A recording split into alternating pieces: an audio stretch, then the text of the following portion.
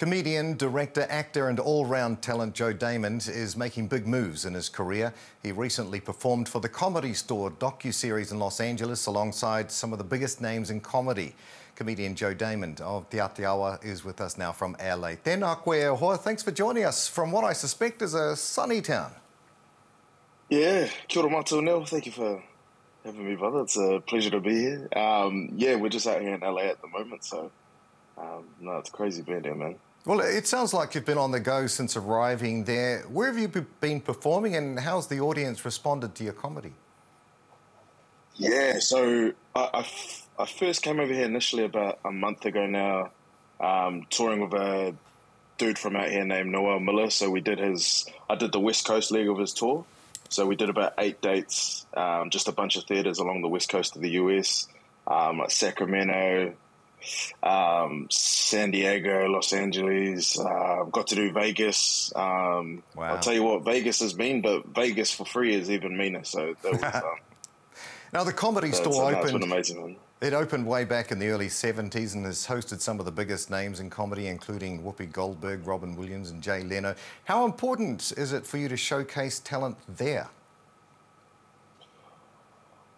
Oh, it's um, you know, I think the, the, that name in itself is something that, as a comedian, um, you know, we only dream of ever getting a chance to to play there, and especially that main room. That main room is, is such a special um, stage to, to be on. I, I asked uh, one of the managers of the store. I asked him if anybody from New Zealand had ever performed on it, and he said, from his memory, only one other person from back home had, being wow. Rhys Darby. And so I spoke to them about like how much it really means to kind of be there, especially alongside someone like Rhys. Um, and it's just an amazing, uh, an amazing place, man. Now, this is how crazy it is. I did my show there, and Ashton Kutcher was in the audience. Wow. Did he? Uh, did he? Did he ask about me or anything? Anything?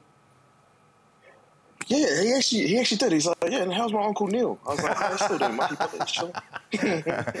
so, who are the, some of the people you've met since arriving in LA? What's the comedy environment been like for you?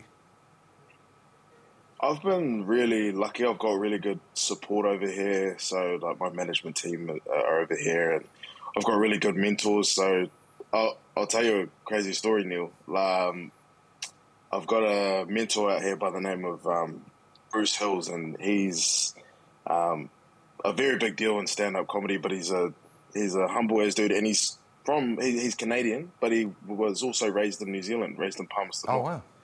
So, and he's a very very influential um, figure in global comedy.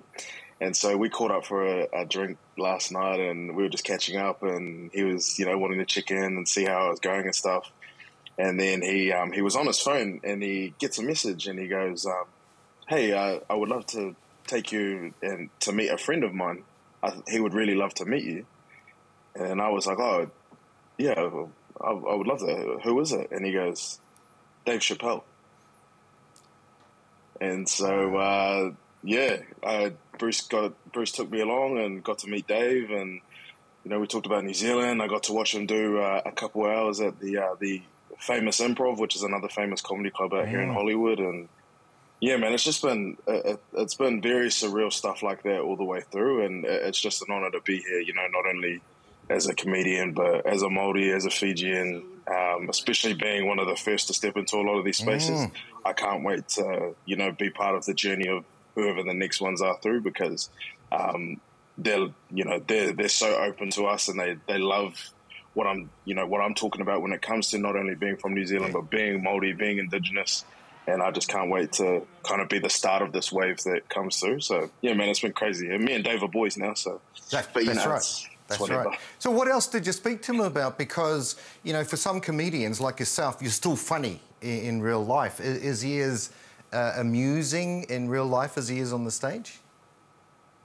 He's he is hilarious, but not in he it's it's really weird. Like it was he he's he's still hilarious, but it's kind of in a different way to I guess what you see on see on stage. Mm. The the vibes he was kind of giving me was like you're funny, like you know, uncle who you know he's like he's like smacking people when he's talking and mm. and like you know, loud, like laughing really loud, and you know, he's like putting music on and playing it, and um, he's absolutely like the center, you know, of attention in yeah. the life of the the party, and it, yeah, it, it, was just it was just surreal to kind of be there and witness it. And oh, it's amazing. The kind of people that were that were there taking it all in was crazy as well. Like mm. I don't know if you remember the rapper T.I., but he yeah. was there as well. That was crazy. So yeah, man, that was it was kind of a ridiculous oh, it's, uh, it's situation cool, I got myself in. Look, look, extremely happy for you and where your journey's taken to you now. But we'll be speaking to you